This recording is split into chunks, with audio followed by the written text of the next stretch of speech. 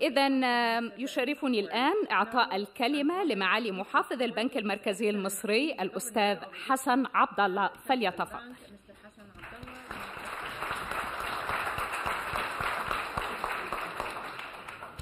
شكرا يا دينا.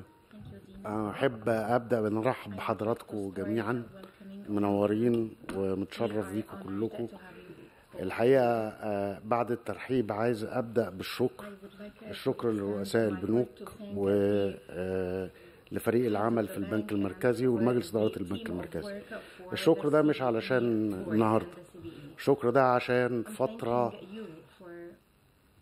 طويلة فيها صدمات خارجية وفيها مشاكل داخلية الجهاز المصرفي شال فيها. ووصلنا النهاردة لأن إحنا قادرين نقف ونتكلم قدام حضراتكم ونقول لكم قدامنا خطة قدامنا طريق وكلنا مع بعض إن شاء الله هنوصلوا هنوصلوا بكفاءة. وبما يعود بكل على كل الشعب المصري بنتائج طيبة وبانحصار التضخم.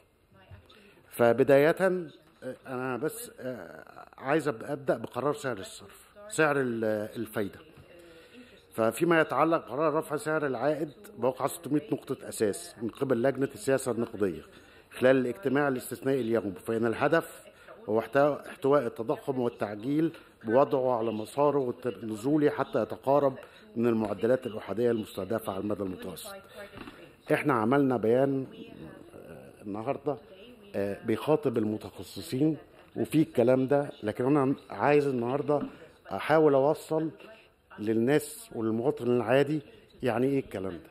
الكلام ده بكل بساطة إن إحنا عندنا تضخم يعني السلع أسعارها بتزيد وعندنا سعر فايدة. المواطن المصري والمواطن عامة أما بتيجي المواضيع لجيبه والفلوس بيبقى عنده ذكاء فطري لا يحتاج يتعلم اقتصاد ولا يحتاج حاجة. فاللي كان حاصل في الفترة اللي فاتت حاجتين. التضخم ده هو من أشرس الأمراض اللي بتواجه أي اقتصاد.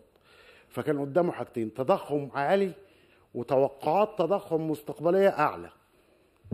فإيه اللي كان بيحصل في الفترة اللي فاتت وحضراتكم عارفينه كله؟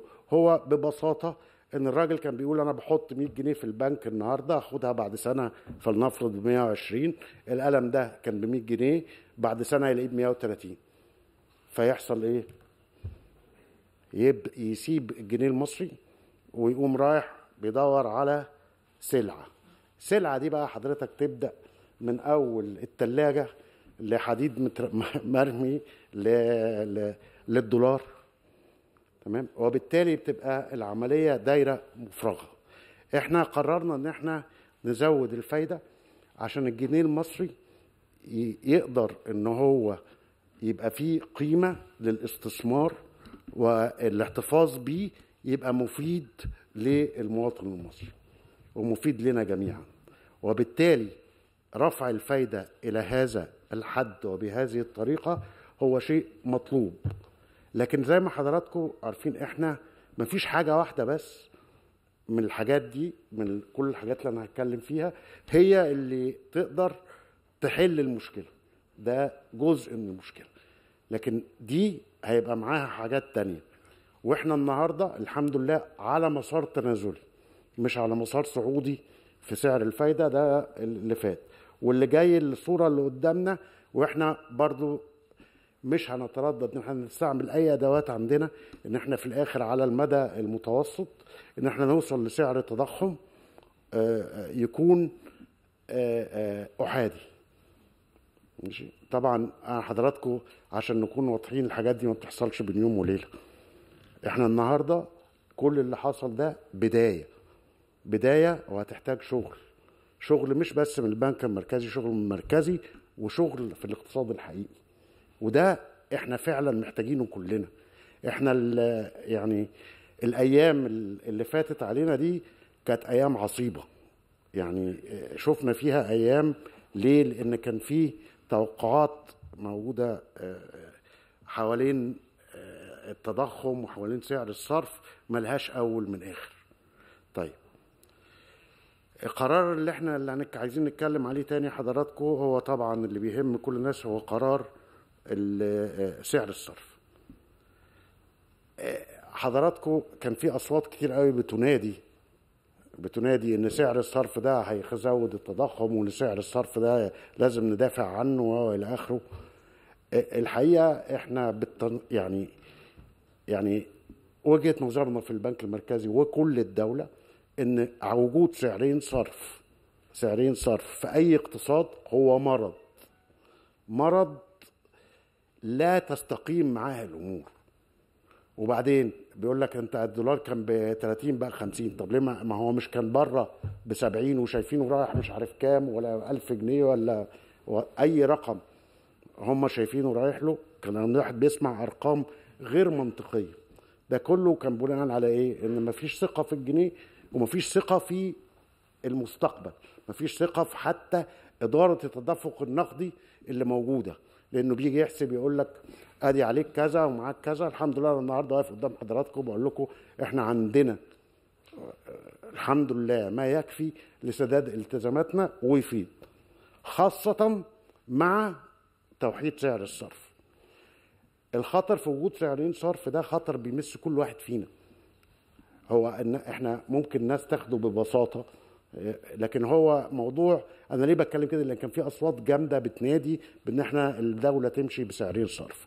فأنا يهمني إن طبعا نبقى واضحين إن ده سعر الصرف ده لو في سعرين صرف السوق السوداء دي حضراتكم هتبقى في كل حاجة وكل السلع في المستقبل. هتلاقي أي سلعة لو هي جاية ليها سعرين.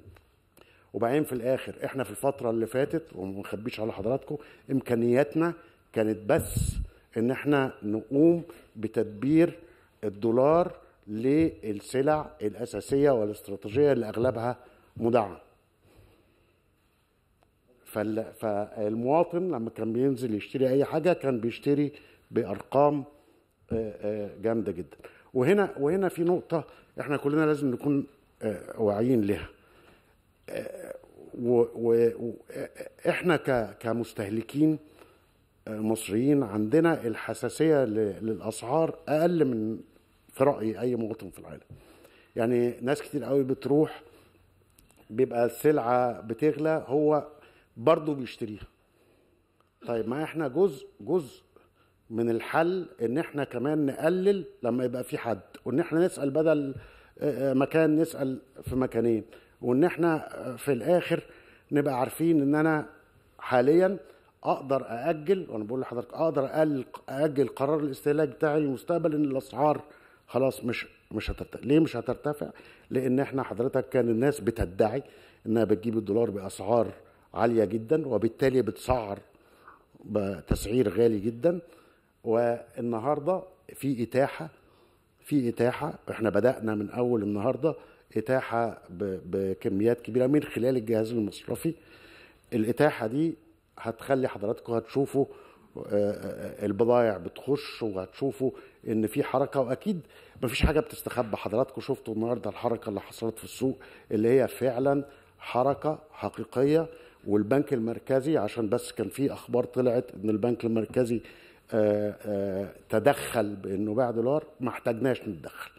أنا بقول لحضراتكم بكل فخر إن الموارد اللي جت موارد جت من السوق وراحت للسوق ورؤساء البنوك هم بيهزوا مبسوطين لأن أول مرة من مدة نشوف موارد بهذا الحجم. فده معناها إن المشكلة انتهت؟ لأ. إحنا بقالنا سنة عندنا آه، آه، آه، تراكمات لكن بتتحل؟ آه بتتحل. المستوى اللي إحنا واصلينه ده فيه تدفقات؟ آه فيه تدفقات.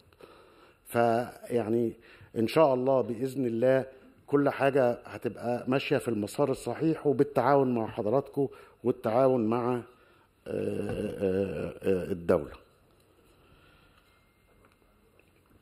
أنا حضراتكم طبعا يعني عايز أسيب وقت لل- للأسئلة بس يهمني بس أقول نقطة واحدة بس عشان نفتكر إيه اللي كان حاصل وهي مؤشرات معلنة في كل حتة. أنا حضراتكم في وقت من الأوقات سعر السندات الدولارية على آه، آه، المخاطر جمهورية مصر العربية السند وصل 25% على الدولار. طب ده معناه إيه؟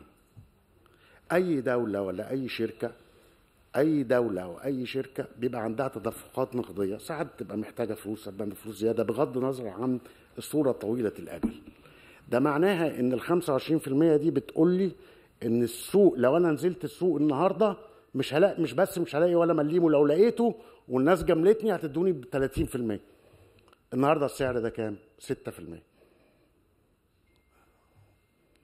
وبالتالي ده معناها إن اتفتحت لي الأسواق بره لو احتجتها لأن أنا مش يعني مش بقول إن أنا بن- بنقترض كل اللي بقوله لو احتجتها السوق بقى آه، مفتوح. وبدام بقى مفتوح معناها إن أنا بقى عندي قدرة إن أنا أقدر أجيب فيها. حاجة تاني كان عندنا في حضارات كلية بنسميها عقود مبادلة مخاطر الائتمان دي ببساطة هي أكنها عقود تأمين على آه، آه، إخفاق بلد أو شركة. العقود دي كانت وصلت 27% في السنة. يعني معناها لو حضرتك مستثمر أجنبي ومحتاج تأمن على مخاطر آه، بتاعة دولة زي مصر في الوقت ده كانت هتبقى 27% طيب دلوقتي كام؟ 211 نقطة يعني 2% الحمد لله. ليه؟ لأن الإصلاحات اللي معمولة سواء كانت النقدية أو اللي موجودة كلها على مستوى الدولة الناس شايفاها. العقود الآجلة اللي هي آه، بتاعة العملة نزلت 30% من أول السنة.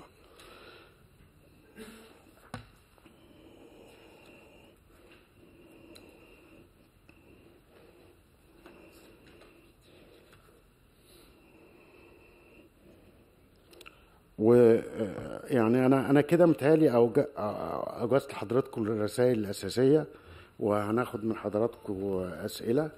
آه، أنا في النهاية بحب أشكر حضراتكم تاني وأتقدم بالشكر كمان للحكومة لأن في تنسيق جامد معاها. وطبعا طبعا القيادة السياسية من غير دعمها ما كناش وصلنا للنقطة اللي إحنا فيها دي. وأحب النهارده أقول لحضراتكم ده أول لقاء ليا مع حضراتكم إن إحنا على بداية المسار الصحيح لأن البلد دي اقتصاديا تكون بلد متزنة اقتصاديا وقوية و- وبمجهود الناس كلها وب- وبتفهم الناس كلها. وأشكر حضراتكم.